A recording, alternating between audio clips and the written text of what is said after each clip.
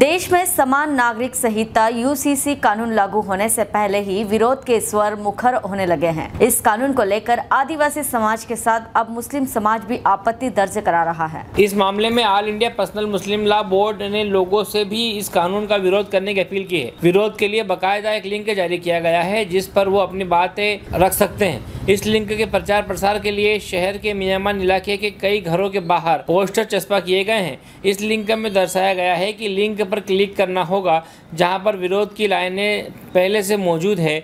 बस अपना email ID से उसे लॉ कमीशन को भेजना होगा। इस मामले में समाज सदर अल्ताफ आज़ाद ने अपनी राय रखते हुए कानून को राजनीति से प्रेरित बताते हुए केवल वोट बैंक की राजनीति करार दिया है। Bureau report Khargone. तो पोस्टर नहीं लगे ये लॉ कमीशन ने यूसीसी के मामले में अपनी राय रखने का अधिकार दिया है और जो यूसीसी कानून लाया जा रहा है, उसके विरोध में जैसे अन्य समाज जो प्रभावित हो रहे हैं, वो अपना विरोध दर्ज करा रहे हैं।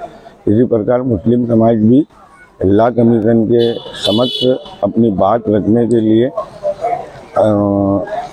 इस तरह की मुहिम अभी तो नहीं चली है इंडिविजुअल लोग जो ला कमीशन तक अपनी बात पहुंचाना चाहते हैं उन लोगों के लिए ये का आ, अपनी बात रखने का एक माध्यम है और यूसीसी कानून के खिलाफ ला कमीशन में अपनी राय भेजी जा रही है।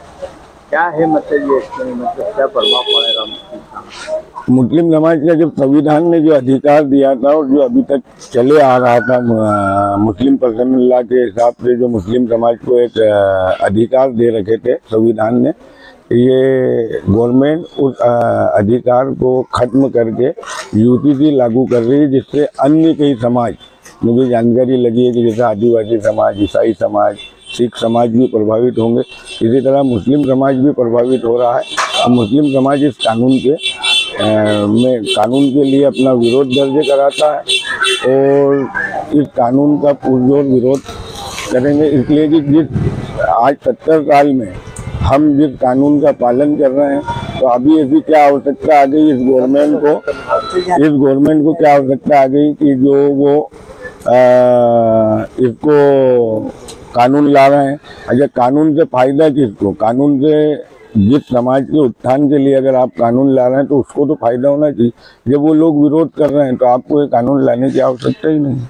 फ़िलहाल वोटिंग के जरा ज़रिए आपत्ति दर्ज करा रहे हैं। आप समाज सदर हो तो शासन तक भी बात पहुँचाने के लिए कोई प्रयास होगा समाज ये पहले जो सिस्टम है ये विधेयक जो आ रहा है उसके लिए जैसे विधि आयोग के समक्ष अपनी आपत्ति दर्ज कराना तो वो ही कर रहे हैं हम लोग। अब हम अभी इसको कोई मुहिम के बतौर नहीं कर रहे हैं। अभी जो जागरूक नागरिक हैं वो लोग अपने स्तर पर कर रहे हैं। अगर हमको आगे चल के कोई आवश्यकता पड़ी तो इसको एज ए मुहिम के बतौर भी हम करेंगे। शहर में ज़िले में। अल्ताफ आज़ाद। हेलो फ्रेंड्स आप देख रहे हैं हमारा channel S W twenty four news हमारे सारे वीडियो सबसे पहले देखने के लिए आप हमारे चैनल को सब्सक्राइब करें और पास में लगे बेल आइकन को दबाना बिल्कुल भी ना भूलें।